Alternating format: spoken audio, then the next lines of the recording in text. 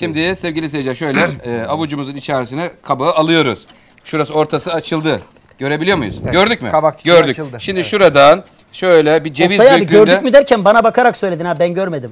tamam sana doğru döneyim o zaman. Buna göster abi. Evet şimdi şöyle ar- içine atıyorum.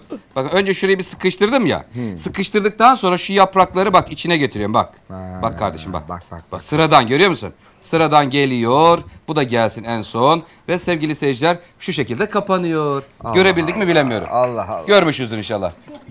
Tamam. İşlem bu şekilde devam edecek. Sonra da sevgili seyirciler bir tane tamamlayayım ki. Ben neyi karıştırıyorum şimdi? Şimdi siz sos yapıyorsunuz. Burada Sos. ne var? Maden suyu var, yumurta var, un var, salça var. Çıkart kardeşim oradan bir. Şu kıvamını bir göreyim. Buyurun Sevgili efendim. seyirciler buradaki bulamacın içerisine bu kabak çiçeği atılacak. Sonra burada içine döndürülecek. Sonra buradan çıkartılıyor. Biraz cıvık olmuş bu. İki kaşık da un ya üç kaşığa çıkaralım. Çıkaralım. Tepeleme dolu. Biraz daha e, sıvı şey olsun. E, kabak çiçeği Kabak yapışsın. sarsın. Bol yağda kızartıyoruz sevgili seyirciler. Köfteleri de kızartacağız. Pideleri de orada doğradım. Fırına atacağım, çıkaracağım. Yoğurt, domates sos köfteyle birlikte buluşuyor. Köfteli bir kebap yapıyoruz. Baştaki ismini kullanamıyoruz. Müşahede Bi- gelmedi. Bilal Murat köfteli kebap diyorum ben. Heh, evet, Biz köfteli kebap. uyduralım ismini. O zaman şöyle diyelim. Ben un koyayım Kebap biraz. köftenin adıdır Bilal ve Murat yemeği yedikten sonra azıcık Turat. Hadi bakalım. Hadi bakalım.